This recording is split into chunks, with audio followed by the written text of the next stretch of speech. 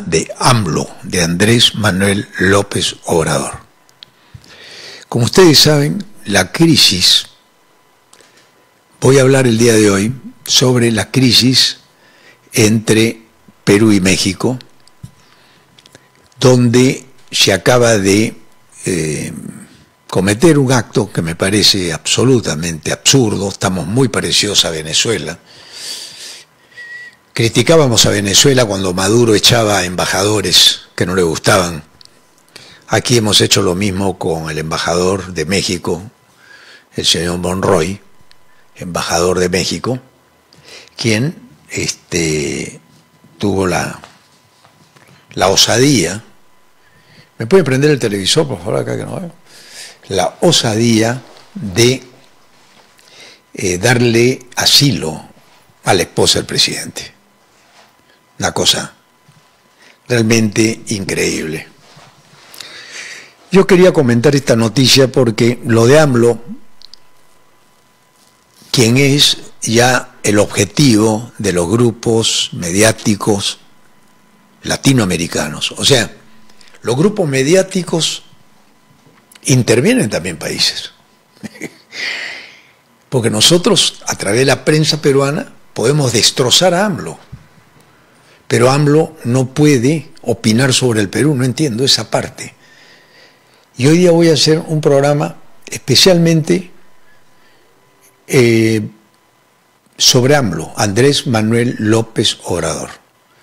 Yo eh, reconozco públicamente que soy admirador de Andrés Manuel López Obrador, se lo dije en mi entrevista un 9 de mayo del año 2019, frente a frente, frente al pueblo mexicano, ahí está la entrevista, ahí estoy yo con él, me está escuchando el señor presidente de México, Andrés Manuel López Obrador, y yo estoy ahí parado frente a él, haciendo una afirmación que la sostengo, que es un hombre valiente, que es una cualidad que pocos tenemos, o que pocos tienen, es un hombre que sabe lo que quiere para su patria, que es lo más difícil en un mundo tan, eh, tan difícil de entender, ¿no?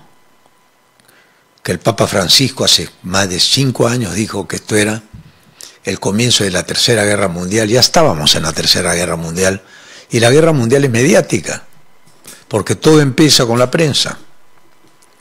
Ahora, por ejemplo, en el Perú hemos descansado dejado a Dina Boluarte, que está haciendo lo que nadie se atrevió a hacer.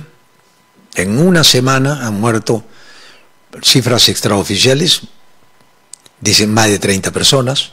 Las oficiales no las puedes creer. Heridos tampoco sabemos cuántos, nunca te van a decir la verdad.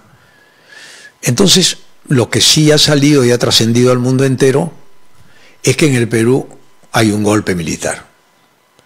Y esto no lo podemos esconder porque este, la calle está llena de tanques. Pero cuando eso ocurre, hecho por un gobierno, llamémosle de derecha, porque yo quiero usar los términos que usa la prensa, está bien que salgan los tanques a matar a terroristas, ¿no? Pero no son terroristas los que matan, hay gente que está en la calle. A ningún fascineroso lo matan, ¿eh? porque si no hubieran matado ya a todos los delincuentes que la gente ha reclamado por años de que no podía salir a la calle porque te asaltan, te roban en cada esquina en Lima. Entonces, si las Fuerzas Armadas hubieran querido terminar con la delincuencia, con esos que se meten hoy día a las turbas para robar, los hubieran eliminado antes. No necesitan matar inocentes y después calificarlos de terroristas. Entonces, felizmente existe en el mundo, digo yo en América Latina, un presidente como Andrés Manuel López Obrador, aquí no soy imparcial, soy admirador de Andrés Manuel López Obrador, reconozco, porque ha cambiado México.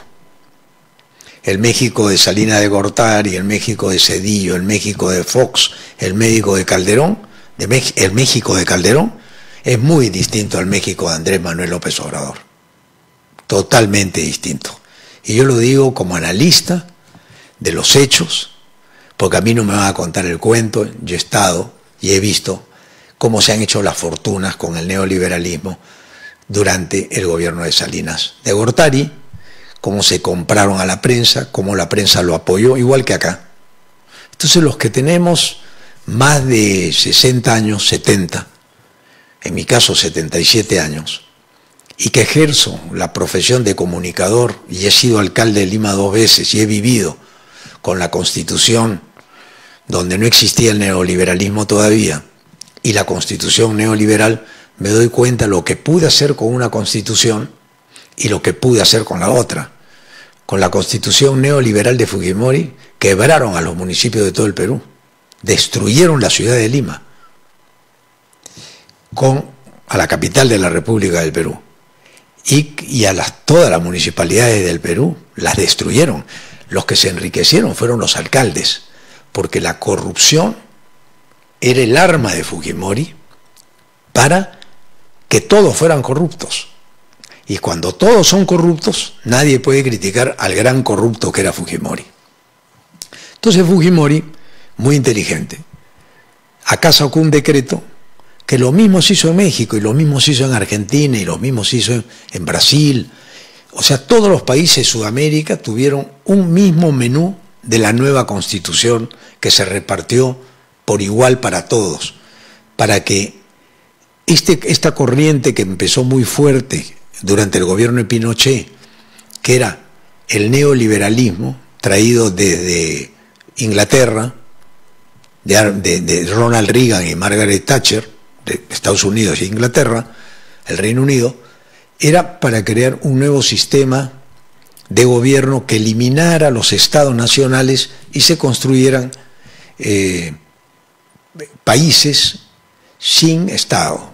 El Estado lo manejaban en la parte económica los grandes intereses económicos que se iban a enriquecer con el Estado, o sea, iban a tomar el Estado. Las obras del Estado las iban a manejar ellos, los contratos del Estado los iban a hacer ellos, iban a recibir las concesiones y se iban a ser dueños de nuestros países sin que nos diéramos cuenta. Esa es mi visión.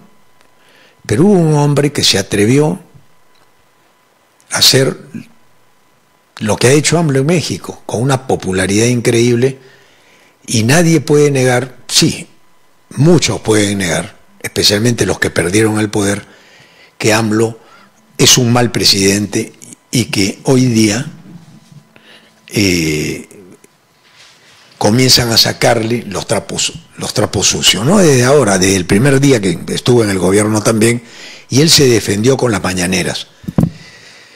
Pero el motivo de mi eh, reflexión de hoy es porque en la mañana recibí de un amigo que vive en Estados Unidos, un entrañable amigo mío, un video de Loret de Mola, creo que se llama Carlos Loret de Mola, ¿no?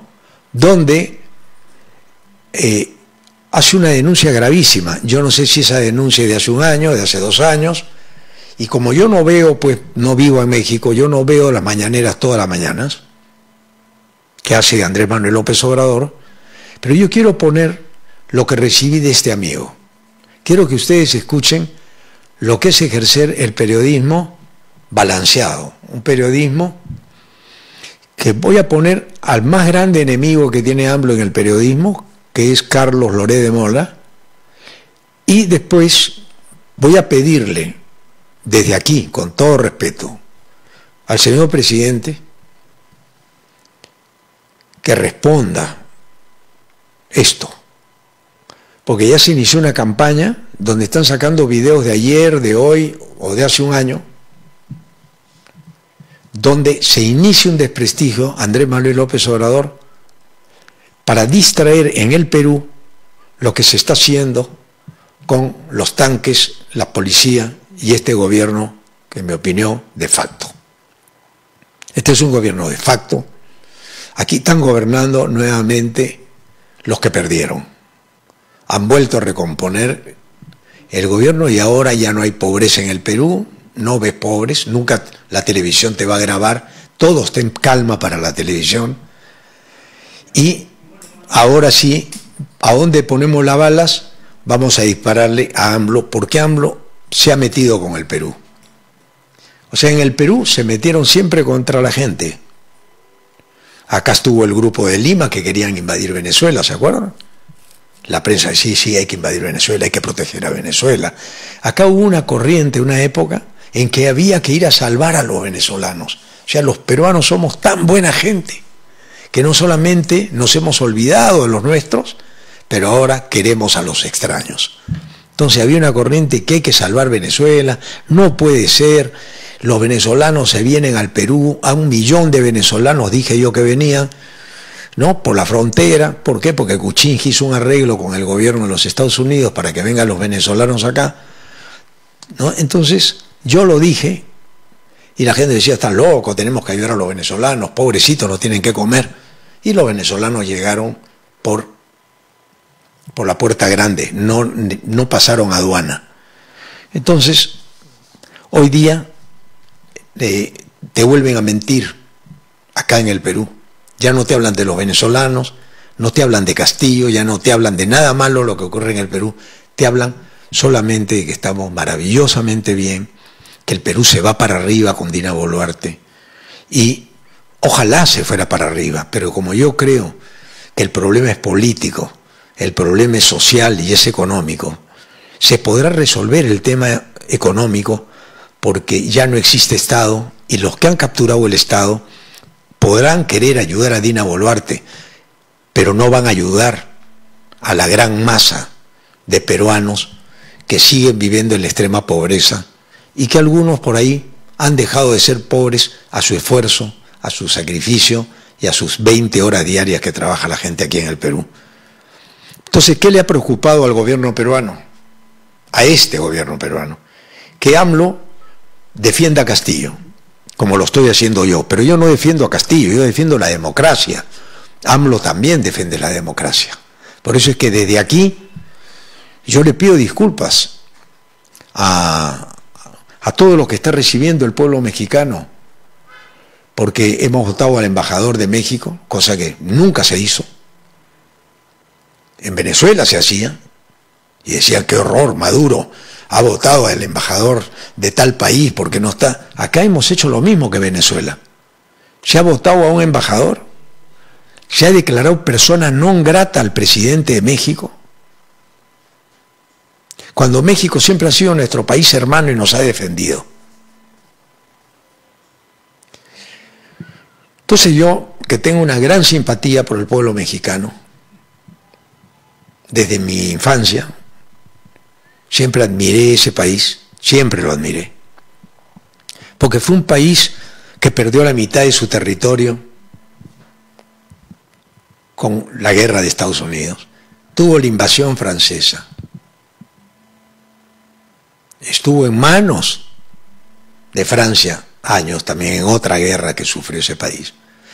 Entonces, yo digo, ese pueblo tan guerrero, tan ejemplar, tiene un presidente que me hace acordar a los, a los héroes políticos que uno ha tenido como ejemplo. Pero yo quiero poner a uno de sus enemigos de la prensa, porque este amigo mío que vive en Estados Unidos cree en lo que dice la prensa y no sabe que ese señor y tal vez su padre apoyaron a los gobiernos PRI y PAN con Cedillo, ¿Por qué lo con este, Salina de Gortari, con Calderón y con Fox. No sabe, pues, porque todo te lo reactualizan. Y vamos a escuchar a Carlos Loré de Mola, voy a tomar nota, porque quisiera que AMLO le responda a este señor para que todo el Perú sepa quién es AMLO y yo lo voy a pasar en mi programa porque creo que AMLO no puede quedarse callado, tal vez ya lo aclaró y yo no sé, pero en el público peruano, el público peruano que se deja engañar tanto por la prensa, ha iniciado una campaña brutal contra Andrés Manuel López Obrador, lo han declarado persona no grata por decir que él no reconoce un gobierno que no ha sido elegido por el pueblo y que el elegido por el pueblo fue Castillo. Y Castillo está preso y Castillo está inhumanamente preso, sin un juicio, sin ningún derecho y que nunca ha ocurrido con un presidente en la era moderna. Puede que antes sí pasara eso, pero yo no conocí, desde que tengo uso de razón, que esto ocurriera con un presidente que se mete en a Palacio el mismo día, minutos después de su discurso, y ya estaba todo preparado y se lo llevan preso. Eso no ha ocurrido, nunca. Pero vamos a ver por qué se le han prendido a AMLO. Vamos a escuchar este video para que vean las acusaciones que hace ese periodista al presidente Andrés Manuel López Obrador. Carlos Loré de Mola opina en mi programa así, contra AMLO. Hoy el presidente López Obrador fue demasiado lejos en sus ataques contra mí. ¿Por qué lo hace? Porque no ha podido sacudirse el escándalo de las casonas de su hijo en Houston. Nada de esto estaría pasando si no hubiéramos mostrado la alberca de 23 metros, el cine privado y sobre todo los contratos multimillonarios en dólares reconocidos por Pemex con la empresa petrolera cuyo alto ejecutivo es el dueño de la casa del hijo del presidente. El presidente está enfurecido, está fuera de sí y hoy demostró que quiere usar todo el peso del Estado, todo su inmenso poder para atacar a un periodista. Si las casonas de Houston fueran mentira, el presidente no estaría así. Pero son verdad. Y despedazaron su falso discurso de austeridad y de corrupción. Por eso el presidente está desesperado, dispuesto a insultar, a calumniar, a espiar. Está peligrosamente dispuesto a todo para silenciar al periodismo crítico. Hoy en su conferencia mañanera, López Obrador publicó una tabla diciendo cuáles eran, según él, mis ingresos. Como él no puede explicar cuánto gana su hijo y quién pagó las casonas, pues entonces habla de mí. Y como no tiene más que causar sensación, pues infla los números. Por ejemplo, dijo que Televisa me había pagado el año pasado millones de pesos cuando yo no trabajo en Televisa desde el año 2019. Pero aunque los datos sean erróneos, aunque los datos estén inflados, al presidente le cree mucha gente. Y lo que ha hecho hoy es ponernos a mi familia y a mí a merced de la delincuencia. ¿Qué sigue? ¿Quién sigue? Porque yo puedo tener más visibilidad, pero ¿qué hay de otros periodistas? En el momento de la historia en que más colegas están siendo asesinados. ¿Qué está haciendo en el fondo el presidente ¿Y hasta dónde está dispuesto a llegar para acallarnos? Que siga por esa ruta. La historia lo está esperando frotándose las manos. Porque lo que vimos hoy cruzó la frontera. Sin empacho, este aspirante a dictador ordena a Hacienda que me revise, ahí delante de todos, frente a las cámaras, cometiendo varios delitos y violando varias leyes como si nada. ¿Y todo por qué? Porque no puede explicar la riqueza de su propio hijo. Quiere hablar de lo que yo gano trabajando para no confesar lo que gana su hijo sin trabajar. Yo he trabajado 20 años a la vista de todos, pagado mis impuestos. El que no puede explicar de qué vivió tanto tiempo es él, el presidente. El que no pagó impuestos fue él. El que no puede explicar cómo resulta que tiene un hijo millonario es él. Las casonas de Houston tienen al presidente fuera de sí. Nada de este ataque, que lleva dos semanas sin cesar, escalando en mi contra, nada estaría pasando si no hubiéramos revelado las casonas de Houston. O los videos de sus dos hermanos, Pío y Martinazo, recibiendo dinero en efectivo clandestinamente y diciendo que era para Andrés Manuel. O de su secretario particular y su oficial mayor haciendo lo mismo. O los contratos de la prima Felipa, las casas de Bartlett, las empresas fantasma de Santa Lucía, todos estos escándalos, por todos estos, el presidente busca intimidarme, quiere callarme, quiere que la gente no se entere. El presidente debe saber que a sus amenazas responderé con documentos, con imágenes, con denuncias de todo aquello que está podrido en su gobierno, en él y en los suyos. Que yo voy a seguir haciendo periodismo al costo que sea. Muchas gracias por escucharme y sobre todo, muchas gracias por todos sus mensajes de apoyo, de solidaridad y de cariño. Muy bien, este muchacho se llama Carlos Loret de Mola. Yo nunca había escuchado esto de AMLO porque eh, cuando reviso redes nunca había visto este señor, que se le ve un periodista joven, de muy buena presencia, creíble. Para mí es un tipo con el perfil de los creíbles. Tipo huevosón, tipo alegre, tipo sencillo, parece, pero ha dicho cosas terribles contra AMLO que yo quisiera que AMLO lo aclare a este. Porque ahora se viene una guerra mediática contra AMLO, mediática feroz en toda América Latina, donde surgen ya los francotiradores mediáticos a destruir al presidente AMLO que le quedan dos años más de gobierno. Porque el gran temor es que AMLO tenga éxito. Porque si AMLO tiene éxito, demostraría al mundo entero que un presidente en México cambió la historia. Y que si religen a otra persona que siga con la línea de AMLO de la cuarta transformación, América Latina cambiaría por inercia. Y harían lo que ha hecho López Obrador, que no es comunista, ni es socialista, sino es un humanista, que es la, filosofía que tengo yo. Un hombre tiene que defender a la gente que no tiene, pero no tirarse contra la gente que tiene. Lo que pasa es que la gente que tiene, muchas veces, no todos, especialmente los que maman del Estado y los que han tenido sueldos de otros presidentes para que los defiendan, para poder robar pagándoles muy bien a determinados periodistas, no digo que sea este señor que acaba de hablar, no lo conozco, pero eso es muy natural en los gobiernos neoliberales, que tienen presupuestos para los periodistas elegidos, para los monopolios y oligopolios, a quienes con el dinero del Estado, de todos, les pagan para que el presidente de ellos, que nunca los toque y que los deje seguir ampliando su red monopólica, eh, eh, sostienen.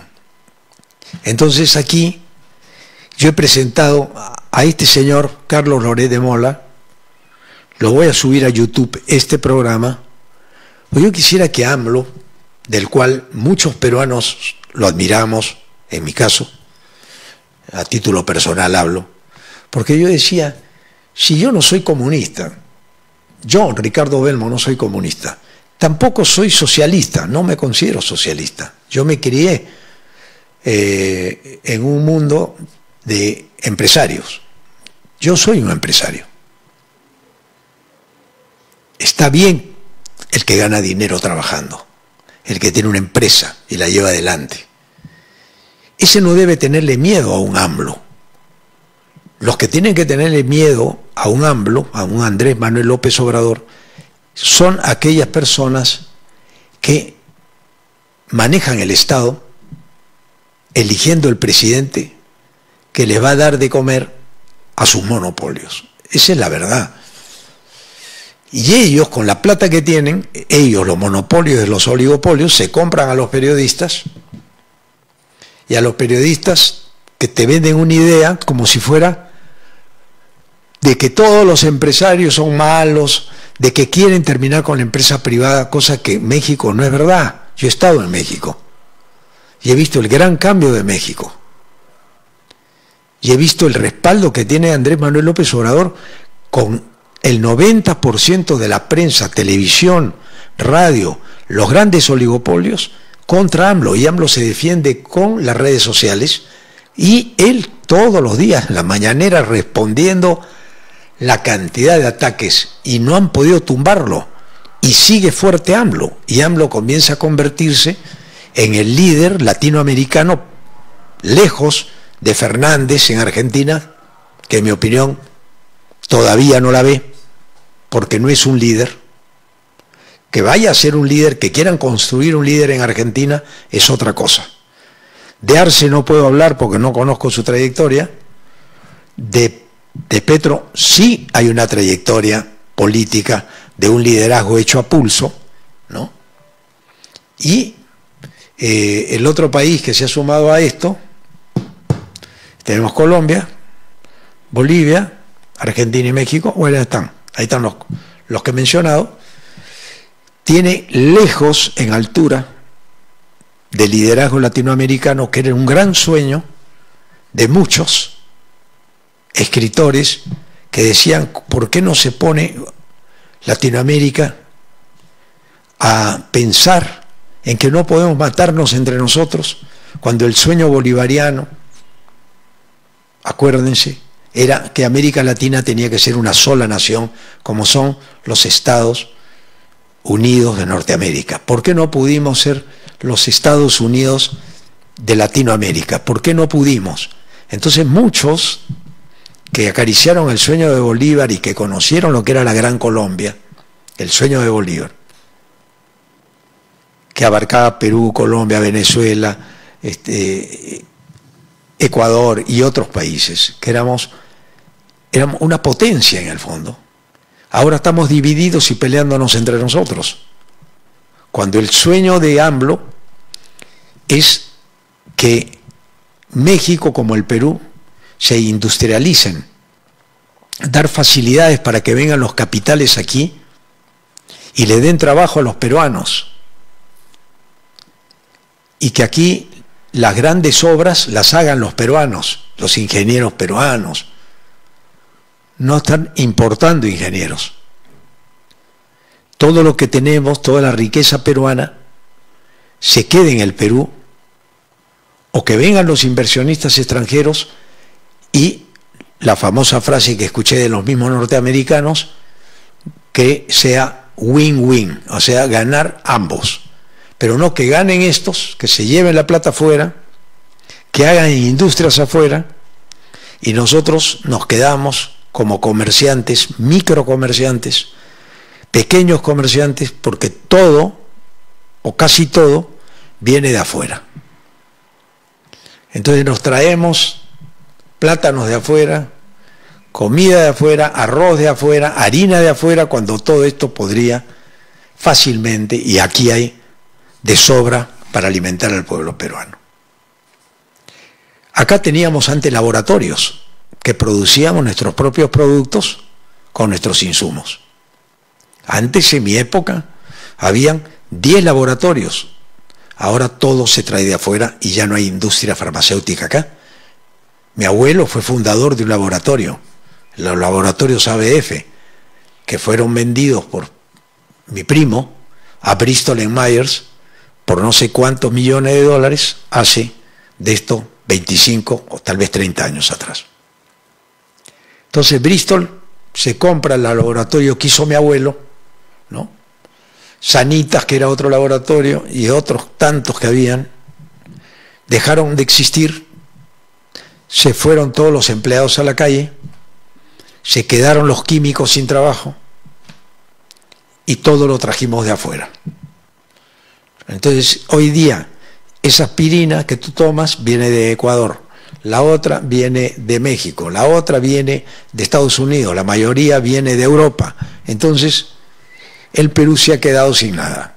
Y AMLO piensa en grande, piensa en las futuras generaciones. Y yo lo he defendido porque creo que un país para vivir en libertad es el país de México. En México hay libertad.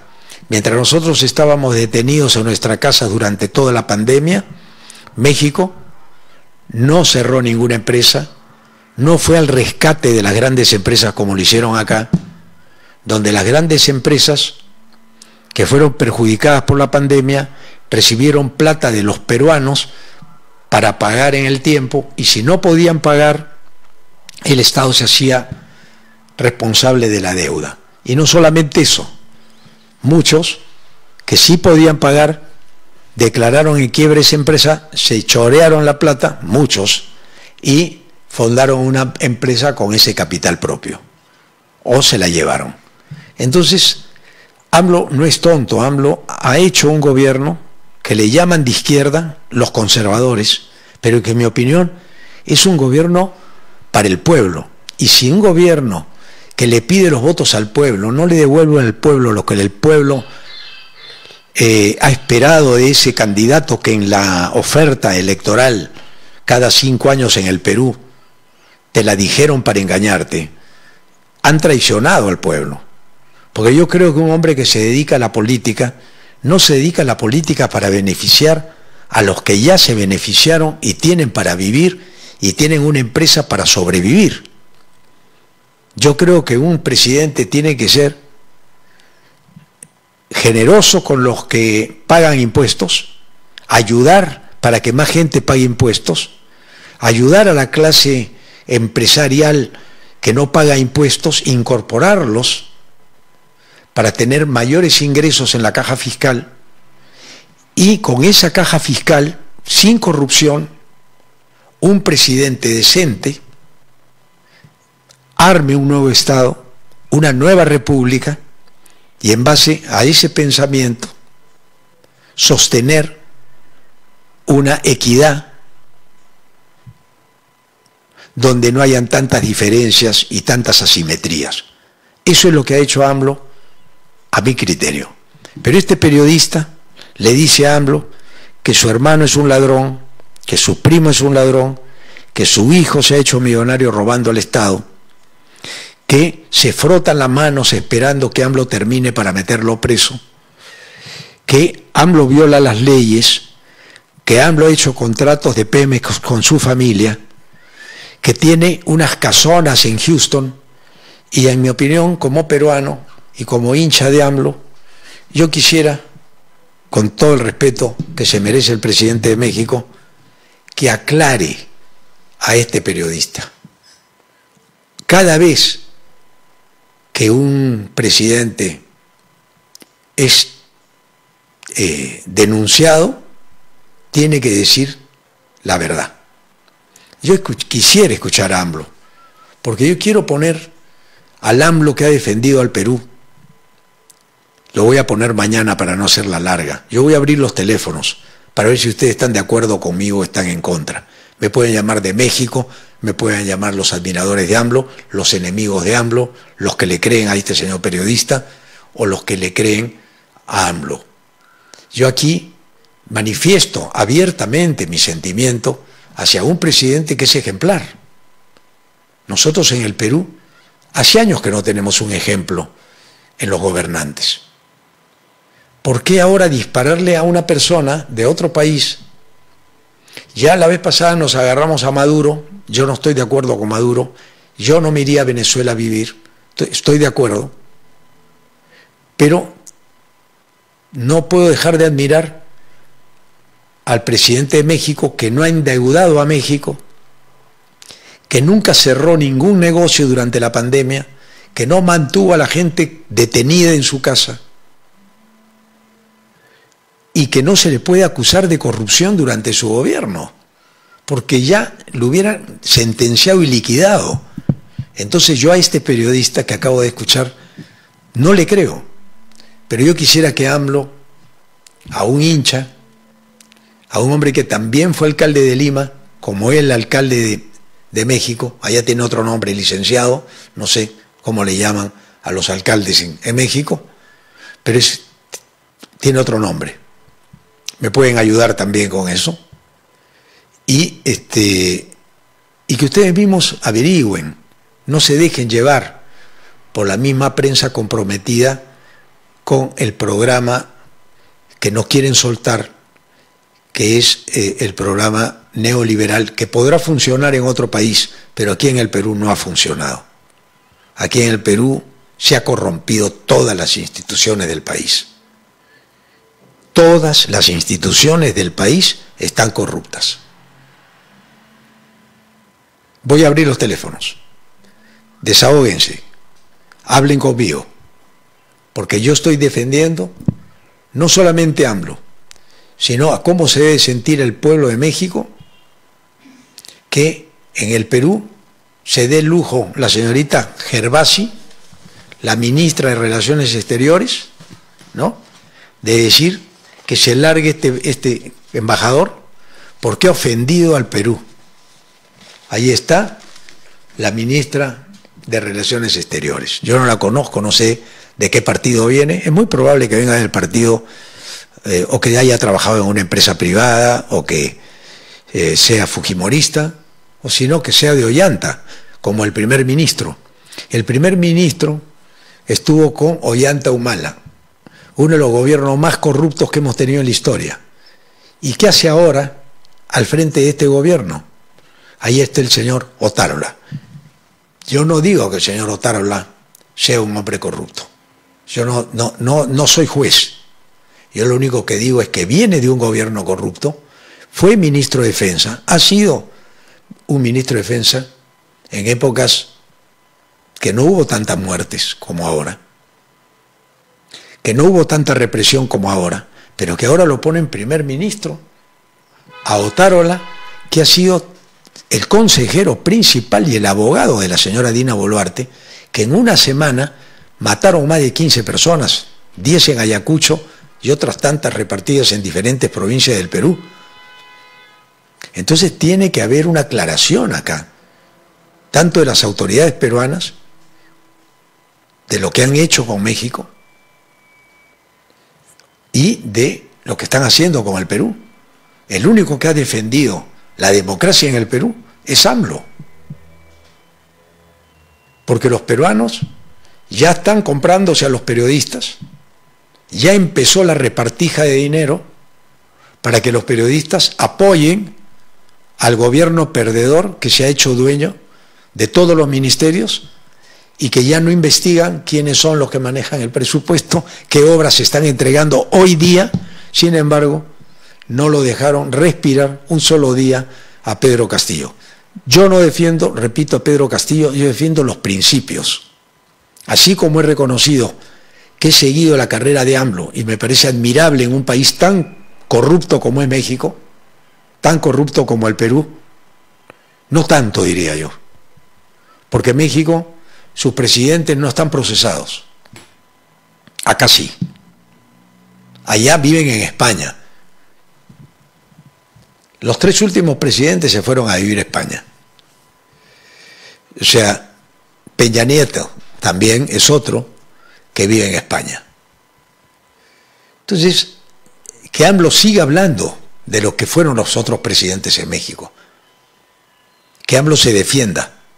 Y aquí en el Perú, yo que asumí la cuarta transformación como mía, porque yo quería llevarle la cuarta transformación a Pedro Castillo, lamentablemente no me dejaron acercarme a Pedro Castillo, pero si algún día llega un presidente, tiene que demostrar que no es comunista, que no es terrorista, que se respetan las libertades individuales, que se respeta la economía, que se respeta el manejo económico de los empresarios, que se apoya al empresario, eh, al empresario nacional y extranjero bajo reglas de juego que estén parejas y ese presidente va a cambiar el Perú.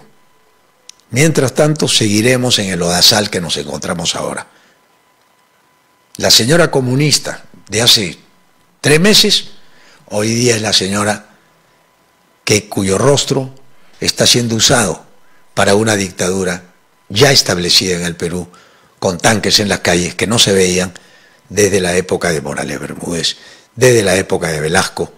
Yo no quiero volver a esas épocas porque donde está la libertad y está mi patria, y si acá siguen los tanques en las calles, ¿no? Los peruanos sí tenemos que decir que estamos peor que Venezuela. No será no robarán los pobres que se hicieron dueños del gobierno de Venezuela y se volvieron riquísimos con inversiones en Miami y todo. Acá seguirán robando los que siempre robaron. Esa es la diferencia.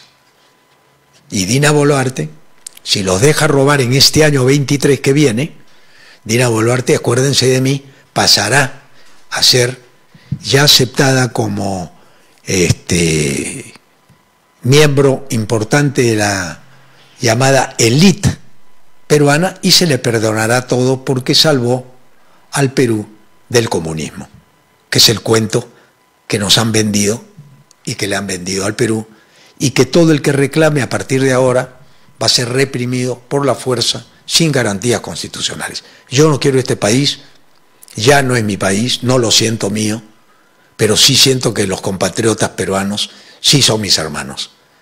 Hemos perdido al país, pero no hemos perdido ni el cariño ni el respeto de los verdaderos compatriotas peruanos. Este es mi editorial, abro teléfonos, despáchese como le dé la gana en la radio. Tenemos llamada telefónica. ¿Aló? Buenas tardes, este, soy la señora Paquita de Vitarte. Realmente yo estoy de acuerdo con usted, señor Ricardo, y admiro a usted muchos años. Yo, la verdad, usted no me conoce a mí, ni yo lo conozco a usted así personalmente, pero de verdad yo ruego a Dios por usted para que usted tenga muchos años más de vida y nos apoye a todos, a todos los peruanos para seguir adelante, porque realmente vemos que ahorita ya ya nuestro país está en peligro, ya no hay democracia. ¿Cuánta gente humilde está encarcelada? Ahora en estos momentos no hay nadie que lo pueda este, apoyar. Quiero Dios que esto se arregle, señor Ricardo. Y cómo me gustaría realmente que usted sea candidato de acá, de nuestro país. Porque ya usted es un hombre vivo, todo, usted que le ha dado todo. Me gustaría, de verdad, que usted siga, que usted sea un candidato para nuestro país, para que nos apoye nos ayude a toda la gente que, que, necesitamos de usted. Bien, señora, muchas gracias, muy amable. Seguimos con más llamadas telefónicas. Este es Hable el Pueblo. Hoy lo están escuchando en México, en el mundo entero, a través de nuestra radio clásica, www, en internet rbc.pe. Usted la puede escuchar en cualquier lugar del mundo. Este programa se puede escuchar en cualquier país del mundo. Estoy hablando sobre el respeto al pueblo mexicano, al presidente AMLO, que lo único que hizo fue opinar desde el ángulo humano a un presidente vejado como a nadie y que yo no estoy de acuerdo con las vejaciones ni con los abusos con nadie. No, nosotros los espartanos, como yo le llamo a mis seguidores, somos estoicos, practicamos la filosofía de darle la mano al caído y de enfrentarnos al, abusivo poderoso que, como decía Séneca, el gran Séneca, el emperador romano, el hombre que cambió la mentalidad, que decía que el estoicismo se basa en el espíritu, en el carácter, y si no hay hombres con carácter, no hay hombres estoicos, son fácilmente manejados por los sofistas, por los mentirosos, son los hombres que fabrican una mentira y te la venden tan bien que te la terminas creyendo. Entonces en mi país yo he decidido en mis últimos años de vida, porque ya uno entra en el territorio donde cada semana se muere un amigo, un conocido de tu generación, entonces tú dices, ya me están pasando cerca, y ahorita me llama la, la... Entonces ya tienes que saber que si tú no entregas todo en tus últimos días, no tuviste razón de ser, de pasar por esta vida, al menos creo yo así, porque de aquí no te lleva nada. Y al año que te mueres, todos te olvidan. Pero lo que nadie olvida es la pérdida de su patrimonio. Por eso la gente puede perder a su padre, a su madre, no importa, son capaces de matar al padre y a la madre cuando les quieren quitar su patrimonio. Hay gente capaz de todo. Y eso es muy triste y vamos a hablar con la gente. Aló, llamada telefónica, ¿tenemos? Sí, hay una llamada, señor, perdón. Llamada telefónica, adelante. Aló. Aló. Aló. Adelante, con tu llamada. Este, para dar mi opinión sobre ¿este es la radio, el programa de RBC. Ricardo Belmont, estás en RBC 91.9 la FM. Buenas tardes, señor Belmont. Me saluda Alan Mendoza desde la ciudad de Ica. Alan Mendoza, te escucho. Tu opinión, tienes un minuto. Buenas tardes, señor Belmont. Este, bueno, yo recién, siempre lo sigo por, por Facebook, mayormente. Em, creo, recién me he conectado y creo que ha tocado el tema de del asilo que le han dado. Eh, como todos tenemos que tener estricto apego a las leyes, si bien no me equivoco, tal vez esté ignorando, este, dos cositas nomás quería acotarle. Número uno, eh, el asilo que le ha dado el señor AMLO, el presidente de México, a las personas que le ha dado, les ha dado porque no están sentenciados, creo. Pueden estar en investigación, pero hasta donde yo entiendo, como no están sentenciados, le han podido dar asilo. Este, y la otra acotación, este señor Ricardo, bueno, igual que la señora, igual con, con el sentido sincero, o sea, patriótico, que todas las personas patriotas tengan larga vida. Dios le bendiga bastante para el otro año. ¿Qué planes, este, señor Ricardo, para, para el próximo año? ¿Qué se espera? Muchas gracias. Ok, gracias. Yo quisiera que la señora Boluarte hubiera convocado elecciones, hubiera eh, dicho a todos, nos vamos todos, poner un gobierno de transición, ¿no? que haga elecciones en abril y se elige un presidente. Y que rápidamente se cambien las reglas de juego. Sí, es que todos tenemos denuncias. No hay peruano público que no tenga una denuncia fiscal. Una denuncia fiscal es una investigación que no tiene eh, las pruebas todavía para acusar a una persona. Acá con una denuncia fiscal y con la televisión que te acusa, ya te sentenciaron antes de tiempo. La siguiente llamada telefónica. ¿Aló? Aló, buenos días. Muy buenas tardes ya. Te escucho, querido. Tienes, tienes una hora, un minuto. Dime de dónde me llamas. Una hora iba a decir qué bestia. Buenas tardes, distinguido señor Ricardo Belmont. Llamo de Italia, soy Fidel Guaraca. Adelante desde Italia, un compatriota. Adelante, querido. compatriota Ricardo Belmont. Yo, primeramente, estoy contento de gracias a Dios que usted está eh, prácticamente recuperando su programa, su televisión, de una forma de darle voz al pueblo. Prácticamente, solamente una eh, prácticamente le pediría al señor Ricardo Belmont que esta situación de tiranía que está viviendo nuestro país lo denuncie usted, que usted tiene más autoridad que cualquiera, que usted tiene más llegada que cualquiera. Yo le auguro larga vida y no diga que no lo verá, porque usted lo verá que nuestro Perú si va a salir adelante. Señor Ricardo Belmont, téngase en mente que usted verá que el Perú va a salir adelante con la lucha, con la fuerza que tiene usted, con todas las pastillas que ha dado a la población, a los que le siguen, a todos los que le seguimos. Gracias, hermano. Un, compatriota desde Italia opinó aquí en Habla el Pueblo al mundo entero. Ya saben, los que viven en el extranjero pueden escuchar RBC en la www.rbc.pe.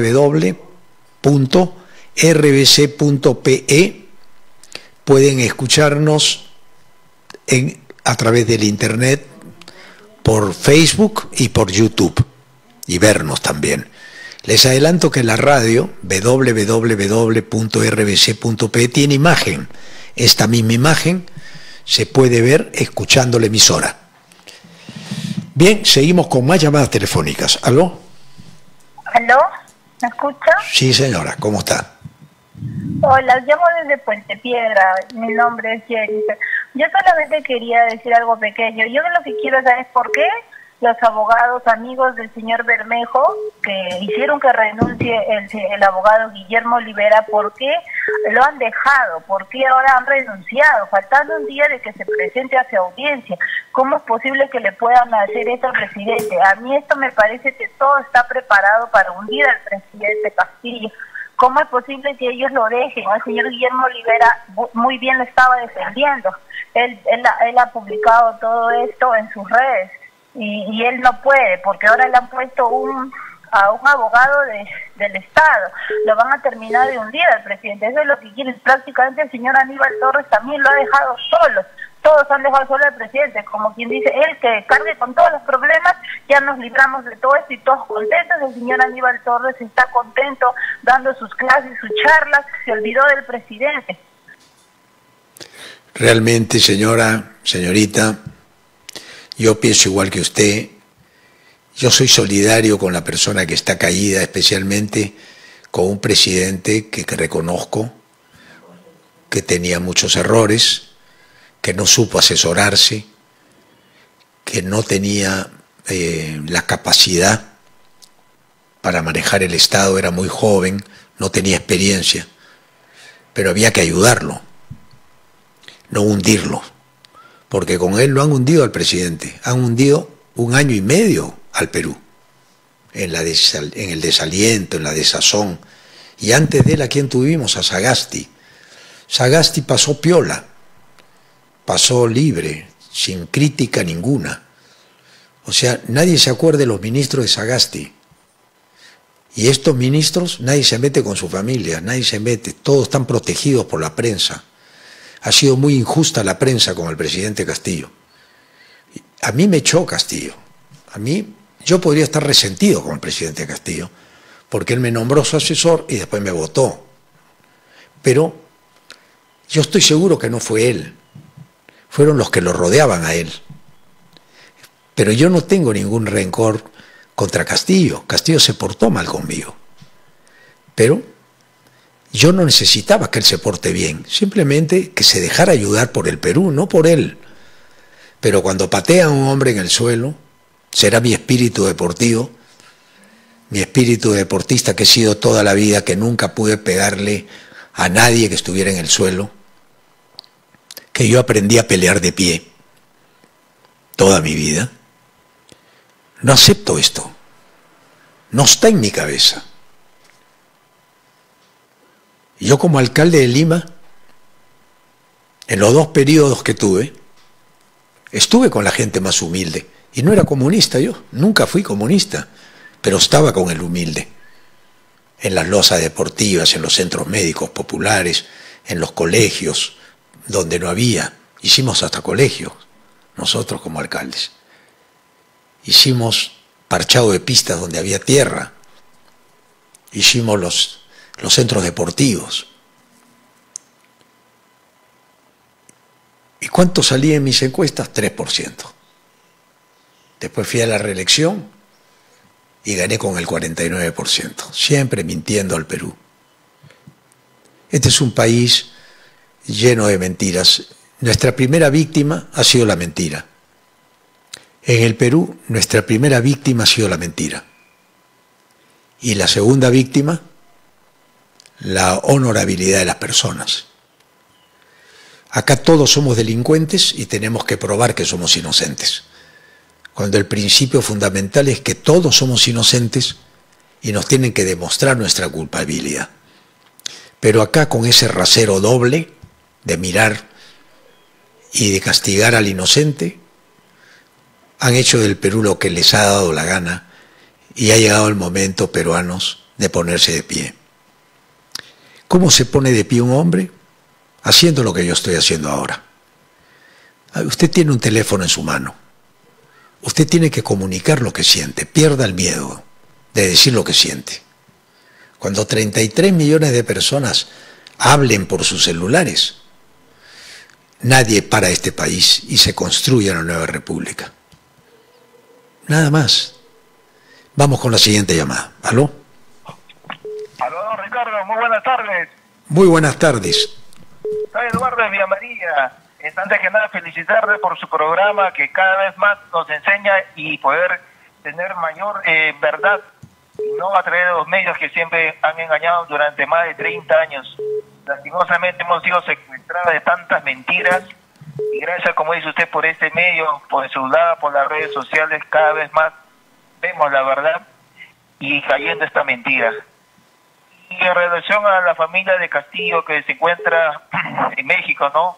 Espero que el señor Castillo tenga la fuerza necesaria para que diga quién ha sido esa persona o quiénes le han dado ese documento para que lea, porque yo no creo que él se le haya ocurrido leer semejante barbaridad. De acuerdo, gracias, con tu, gracias por tu llamada, querido Eduardo. Vamos con la siguiente llamada telefónica al 940-658-129, el teléfono donde el pueblo tiene la última palabra. Adelante. Baje el volumen de su radio, por favor, porque si no es imposible el diálogo. Buenas tardes, ¿tendría que esperar porque está este, con una llamada al aire? Sí, adelante señora, la estoy escuchando.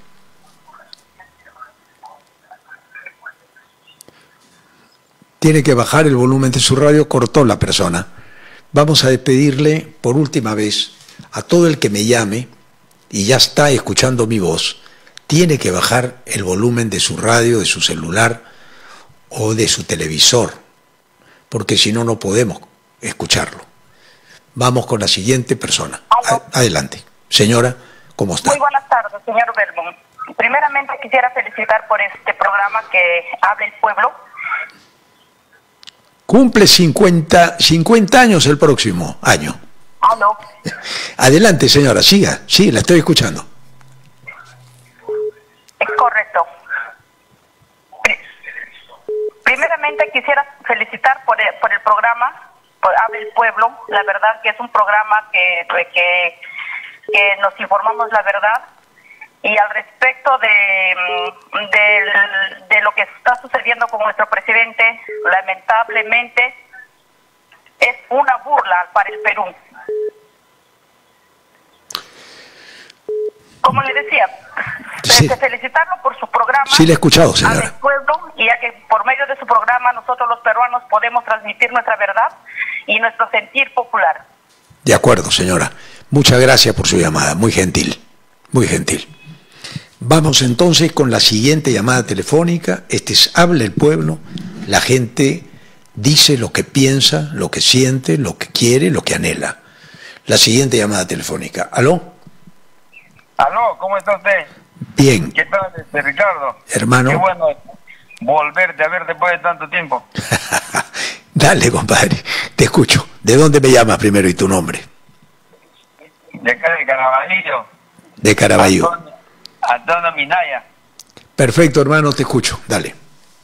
¿Cómo estás? Este, eh, si no es así, no, no este, tendríamos una una prensa libre donde expresar nuestro, nuestro parecer sobre lo que ha sucedido ahora último, ¿no? De acuerdo. Eh, yo, yo estoy realmente sorprendido porque usted estaba como asesor del presidente Castillo y que hayan sucedido estas cosas. Estando usted ahí adentro, este, no me parece que ha, colaborado mucho con evitar que le den este discurso al presidente para que lea. Usted, su asesor, debió de impedir, debió de eh, eh, prohibir o estar al tanto de lo que él tenía que hacer, de lo que él tenía que leer. Yo, no era, yo, no era, su, yo no era su asesor. Pero usted estaba trabajando ahí en Palacio de Gobierno con él. No, ¿cómo se te ocurre? Me nombró hace un año y medio por Twitter y al día siguiente me sacó. Nunca más, nunca más pisé Palacio.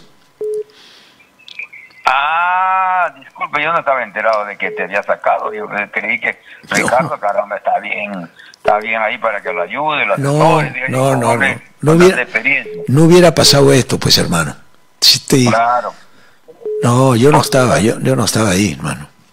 No creo que hubiera pasado esto si hubiera estado usted ahí. Seguramente. ojalá que este Castillo sepa salir bien de este, de este problema. Para que ya este, que esté reunido con su familia, pues allá en México, ¿no? De acuerdo. Gracias por tu llamada, hermano, muy amable.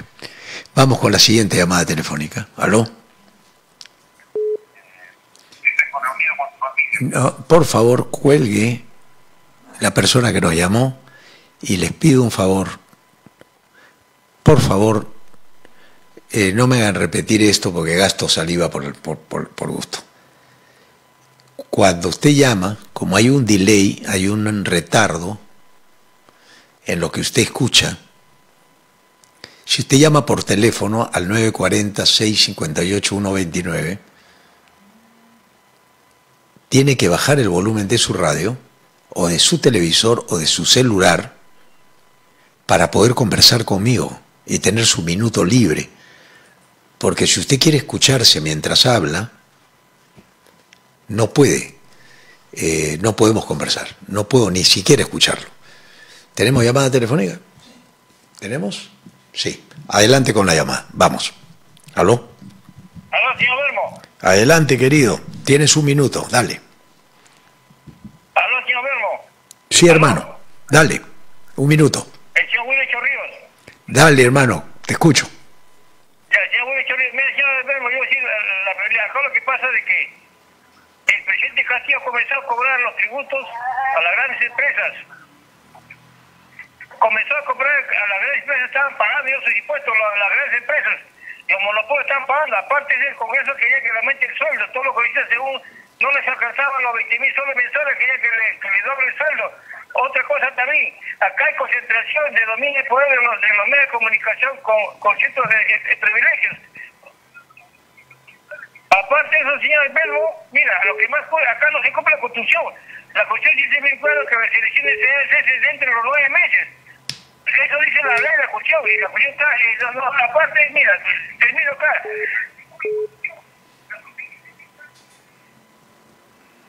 Gracias. Muy amable por la llamada.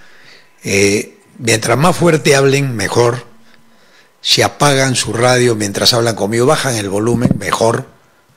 Por favor, hagan esto, porque si no, me hacen trabajar el doble. Vamos con la siguiente llamada telefónica. ¿Aló? Aló. Señor Belmont, buenas tardes. Muy buenas tardes. Mi nombre es, mi nombre es Joaquín. Joaquín, Este, te escucho. Le estaba llamando, señor Belmont, para decirle, este, como yo, felicitarle por su programa, porque yo sé que yo tengo 70 años. Usted es el único hombre que siempre ha abierto el teléfono para que manifieste el pueblo. Y entonces, lo que yo quiero decirle es, pero lo más importante lo que quiero decir es que a usted lo nombró el señor Castillo, su asesor, pero al día siguiente lo desembarcó. Un grave error del señor Castillo.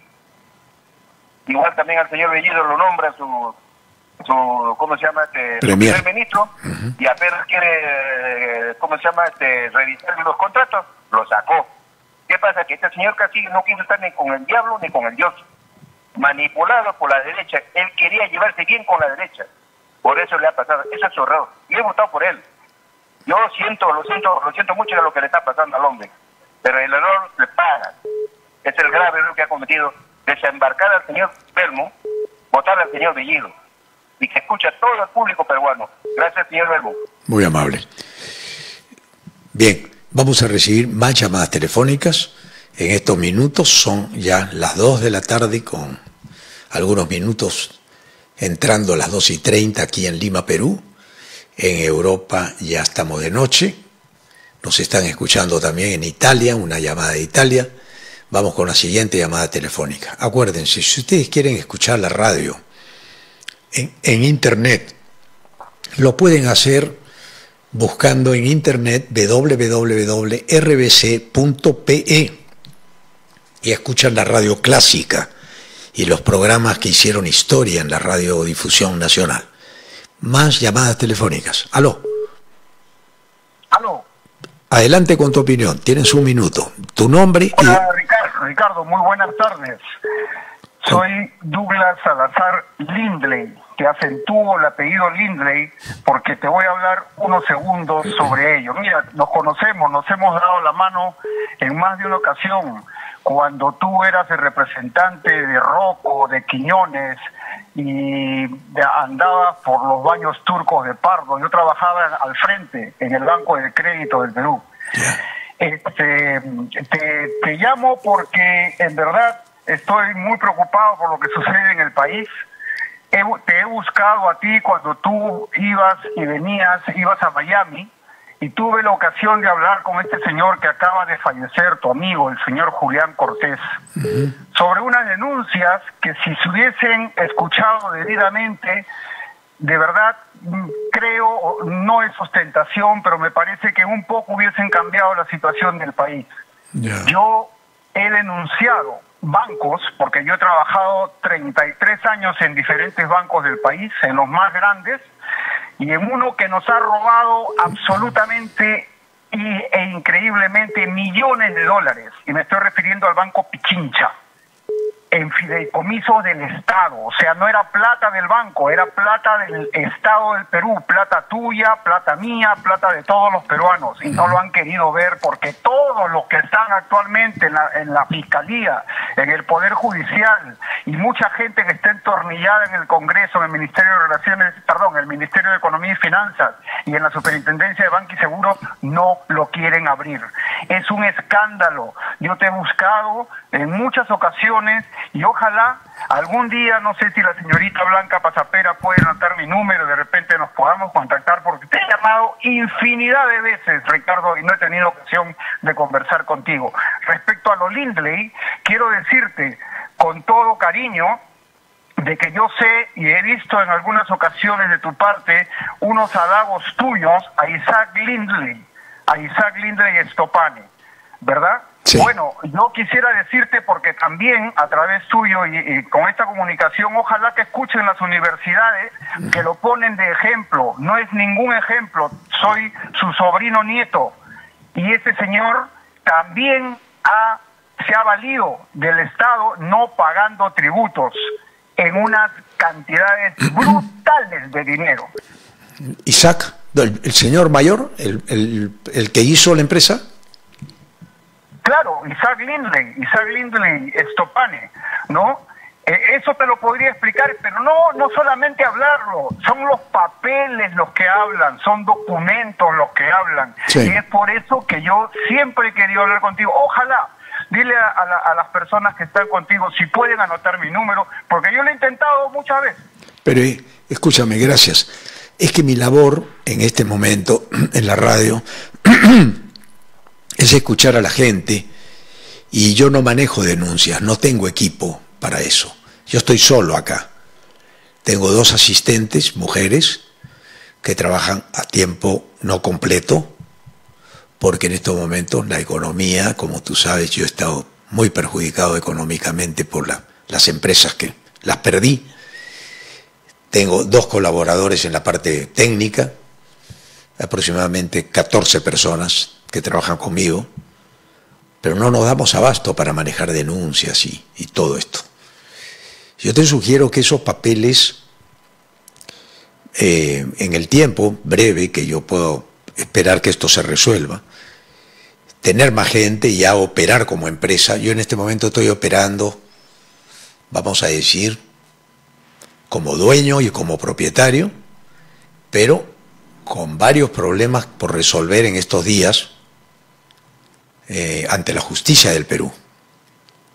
Cuando la justicia funciona en el Perú, yo te voy a decir, vente para acá, que ya tengo un equipo de trabajo, ya estamos funcionando como empresa. En este momento yo estoy trabajando en la radio más de 10 horas diarias, hago Facebook, hago YouTube, eh, y prácticamente soy perdóname el tema, pero soy un hombre orquesta acá, a mi edad.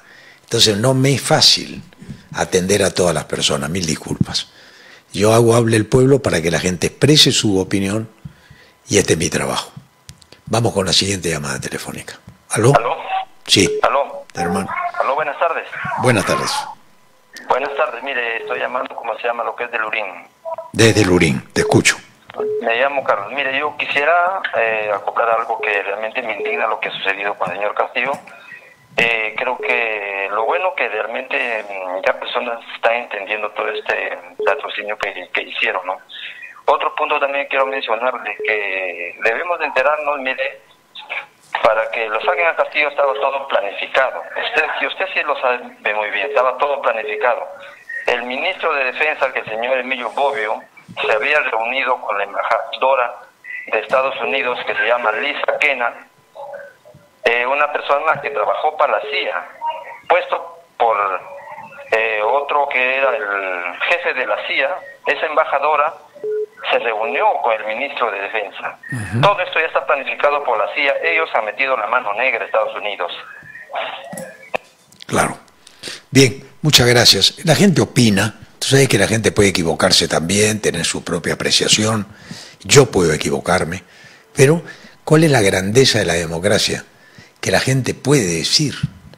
Porque Dios nos dio una boca para expresar nuestros sentimientos buenos o malos, pero cada uno tiene los suyos. Vamos con la siguiente llamada telefónica. ¿Aló? Aló, señor Ricardo Belmont, buenas tardes. Muy buenas tardes, te escucho. Adelante. ¿Cómo, está Ricardo Belmont? Buenas tardes. Sí, Rafael Alave, buenas tardes. Sí, mira, quisiera dar una pequeña opinión eh, referente a... Una vez usted le aceptó una entrevista en su casa al, al Turri, para mí fue una inmensa alegría que usted le haya abierto las puertas a un ciudadano, un peruano, ¿no? Como todos que somos compatriotas, ¿no? Eh, pero cuando el señor fue a acampar a la defensoría y él fue robado, fue pegado, golpeado en este en el ex gobierno de Castillo, el Turri, yo vi por las redes que le llamaba y usted no le contestaba los teléfonos. Yo quisiera que usted nos explique eso. bueno, yo nunca, yo nunca he estado eh, contestándole a todo el que me llama, tal vez me llamó el Turri, pero no sé. Yo le he visto una vez a ese señor en mi vida que me hizo una entrevista, después no, no puedo estar yo contestándole a todo el que me llama. Yo no sabía que lo habían apaleado. No sabía. Usted me está dando esa primicia. A mí también me han apaleado y, y nadie me ha defendido. no sé por qué esa llamada. Viene la siguiente llamada telefónica, estamos en el aire, este es RBC, aló. Aló. Ok. Bueno, ya nos estamos despidiendo. La última llamada telefónica del día, acá está. Aló. Aló. ¿Qué pasó? ¿Aló? Adelante con su opinión, por favor. Julio Mateo López Chosica. Julio. Ricardo. Sí, hermano, te escucho. Voy a hacer una denuncia que me hicieron en Exitosa, que me prohibieron hablar por teléfono y luego me sacaron del Facebook sistemáticamente. Ahora, me han cerrado el Facebook, no puedo escribir, y eso que tengo dos celulares. Una oportunidad tuve hasta seis, siete celulares porque me cerraban cuando yo defendía las cosas. Eh, eso quiero hacer público a nivel del mundo, si es posible. Que acá en el Perú, bueno, no, no, depende a mí, exclusivamente para tu programa. Ya me cortaron los dos teléfonos. O sea, el Facebook sale, usted está sorprendido 30 días y luego los, receptores vuelven a hacer esas cosas. O sea, no quiere que uno hable. Gracias, Ricardo, nada más eso te digo. Y gracias por esta denuncia que me permites hacer públicamente. El Ministerio de Transporte, todos estaban coludidos aquella vez. Gracias, Ricardo. A ti, hermano. Muchas gracias. Bien, fue la última llamada aquí en Hable el Pueblo. Con ustedes, Dios mediante, estaré mañana ya eh, fin de semana, cierre de la semana. Eh, en estos próximos días el Poder Judicial fallará, eh, los magistrados del Poder Judicial fallarán si la radio RBC se le entrega a PBO, que no tiene nada, no tiene vela en este entierro, pero se han movido, han hecho negocios con una empresa que no es RBC y se han terminado siendo dueños de RBC y estoy enjuiciado por el señor Batters, quien me ha insultado en todos los idiomas, de delincuente para arriba, se le fue la mano en plena audiencia, acusándome prácticamente de no, lo dijo en todas sus letras, ¿no? Y este, la cosa está mal acá. Es probable que la próxima semana tengamos un fallo en contra, no sabemos. Si la justicia nos da la razón, bueno, siempre uno dice eso, ¿no? hay justicia en el Perú. Y si no me da la razón, no hay justicia. O sea que eso es una frase bien trillada. Pero en mi caso, les quiero decir que sería el único caso en la historia del Perú, y creo que de, al menos yo nunca he conocido un caso igual, que pierdas tu propiedad cuando dos personas han hecho contratos entre sí fuera de la empresa. Te pongo el ejemplo. Tú mañana te vas de tu casa y dejas a un guardián en tu casa, por decirte. Cuando tú regresas, el guardián ha alquilado la casa a un amigo suyo. Y tú llegas de viaje, abres la puerta, entras a tu casa y sale el que contrató con el guardián de tu casa y te dice que has usurpado la propiedad alquilada por ese guardián. Entonces tú le dices, pero si el guardián no, no, no es el propietario. No, sí, acá está. Yo tengo un contrato firmado con el guardián. Y ahora ya no entras tú a tu casa. Eso le llaman en este país usurpación. Yo estoy acusado por el delito de usurpación en mi propia casa. Entonces, ¿qué tengo que demostrar yo ante la justicia? Porque ya estoy con denuncia fiscal. Porque se ha pedido que me metan a la cárcel 14 años, 20 años creo que es. Porque el delito de usurpación son 20 años. Pero no solamente delito de usurpación, también me ha acusado de robo, de ser miembro de una organización criminal, cabecilla de una organización criminal, entonces esa locura, esa fijación de Batters, se le fue la mano ayer, se le fue la mano en la audiencia y me acusó prácticamente de homosexual. ¿No? Entonces, em, ya este tipo perdió pues todo el control, ¿no? El control de sí mismo. Y el único feliz que pudiera tomar esto en el sentido metafórico soy yo, porque les voy a terminar contando una anécdota. Mi señora, mi segunda esposa, con la cual tengo dos hijos menores, eh, un día le hice una pregunta, le dije, mira mujer, te quiero hacer una pregunta, tú sabes que tengo fama de me han hecho mala fama de mujeriego, queriendo limpiarme un poquito, ¿no es cierto? Me han maleado acá, ¿no? Tal vez con razón, sin ella. Yo hablándole, verseando bonito a mi mujer para que mi mujer trance, ¿no?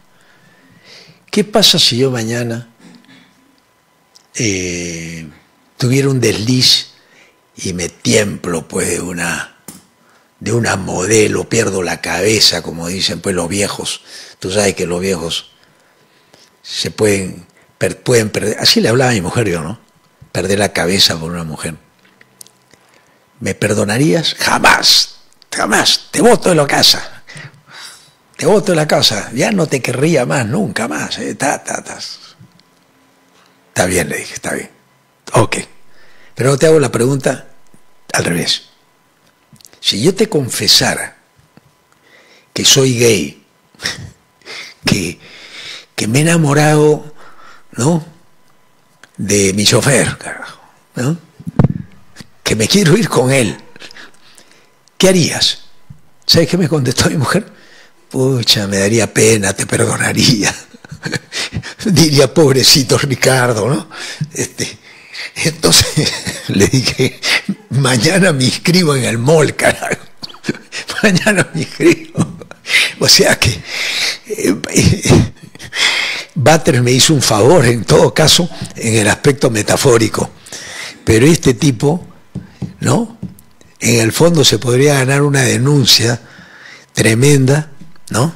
Porque si bien es cierto, me salvaría con mi señora, ¿no? Este tipo no tiene ningún derecho a meterse en mi vida privada, ni con mi mujer, ni si fuera meterse pues con mi, con mi pareja, bueno, hombre o mujer, ¿no?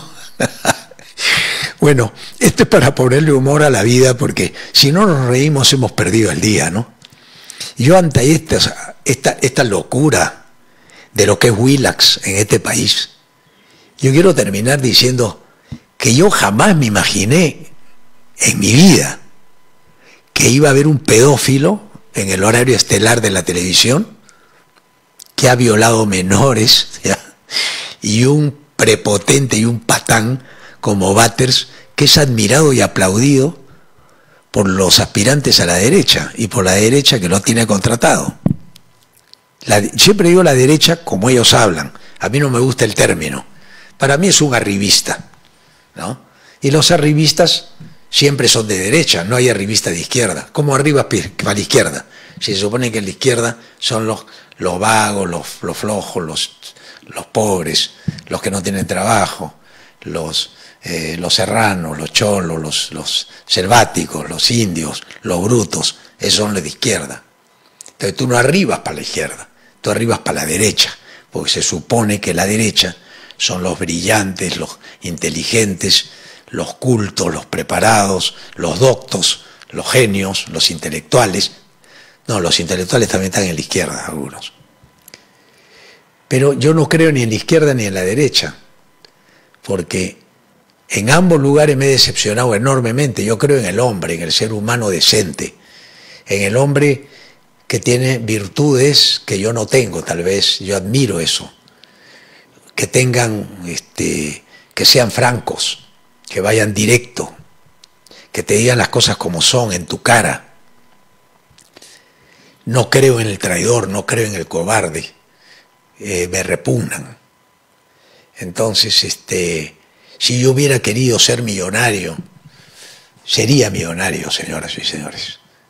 Yo tengo mucho más de lo que me merezco, escuchen bien, mucho más, porque ni fui brillante en la universidad, ni fui brillante en el colegio, más bien estaba jugando pelota, más bien en el deporte. No estudiaba, mi mamá me decía, estudia Ricardo, yo estudiaba poco. Cuando llegaban los exámenes finales estudiaba bastante para pasar el año, pero durante el año me la pasaba jugando fútbol, boxeando, un palomía, un chico de barrio. Me hice en el barrio. Entonces, yo siempre digo, si yo tuve éxitos, cualquiera lo puede tener. Y ahí repito una frase de, de Goya, de Goya, el pintor, cuyo, cuya frase está en el Museo del Prado a la salida, en Madrid, que dice, la voluntad es lo único que me sobra. Muchas gracias, muy amables. Ricardo, eh, hay un representante de los Ayánicas que quiere opinar. ¿Un representante de qué? De los Ayánicas. ¿Quiere hablar? Sí. Bueno, vamos a darle pase, ya que es un representante de los Ayánicas que quiere hablar aquí en la radio, vamos a darle su minuto. Ya me iba, pero bueno, ya está. Me lo pide el productor del programa. Adelante. ¿Aló? Buenas tardes, Ricardo. Sí, él habla. Ya, mira, mira, este, yo siempre me admiro, digamos, el canal donde que tú sales al aire. Yo soy Ashánica de la Selva Central. Mira, yo estoy acá, este, ya casi siete días.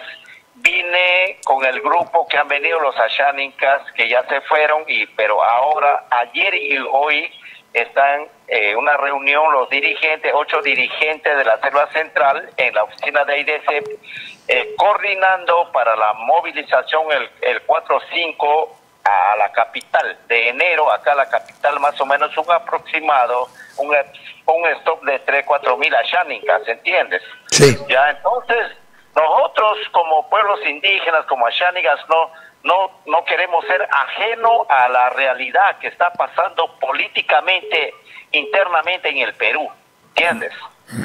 ¿Ya? Y me admira tu canal, me admira, digamos, este, eh, los comentarios, eh, eh, ¿cómo tú analizas la, la situación? Yo siempre veo, digamos, eh, el canal donde tú trabajas, RBC creo es. Sí, exacto. Sí. Yo tengo un cargo, soy coordinador regional de la Justicia Especial de los Pueblos Indígenas, nativos y campesinos. Vivo en la provincia de Satipo, soy Ashánica, mi comunidad es Puerto Copa. Correcto. Así es.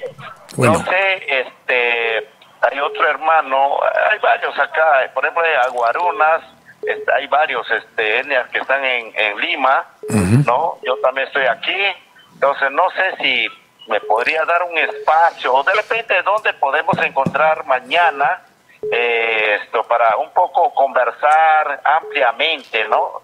va a depender de ti que qué hora más o menos podemos de repente abordar un conversatorio. Mira, lamentablemente, te lo digo con toda sinceridad, eh, yo no tengo tiempo, yo estoy abocado ahora a varios problemas personales, eh, tengo problemas eh, que tengo que resolver en estos días, por eso es que hago Hable el Pueblo, para que la gente pueda expresarse libremente, sin comprometer mi tiempo que no puedo disponer, porque el tiempo el día tiene 24 horas y, y yo me levanto 5 y media de la mañana y llego a mi casa a las 10, 11 de la noche todos los días y no tengo tiempo para eso, pero tienes la radio para expresarte libremente cuando quieras, porque esta es una radio que tiene como objetivo mostrar la realidad de nuestro país para todos, para que todo el mundo se entere cómo pensamos los peruanos. Te agradezco mucho tu gentileza por el momento. Cuenta con, con mi palabra, la radio, mi apoyo a todos los pueblos indígenas del Perú que tienen que tener los mismos derechos de todos los otros peruanos. Aquí no hay distinción de raza, sexo, color, religión, idioma. No hay. Para nosotros el peruano, compatriota, nacido en esta tierra, tiene los mismos derechos, tenga un millón de dólares en la cuenta corriente o tenga un sol en el bolsillo. Para nosotros es igual. Sus derechos son exactamente los mismos. Por eso esta radio es una radio de todos. RBC, la radio de todos. Ok, muchas gracias y ahora sí tengan ustedes muy buenas tardes. Este programa se repite en varios horarios la producción decidirá a qué hora se repite. Estén atentos a la señal de RBC, tanto la señal internacional www.rbc.pe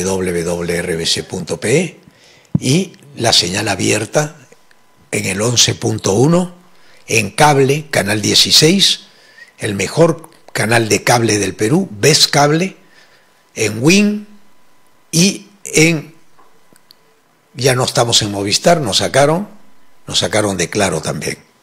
Pero bueno, seguimos remando.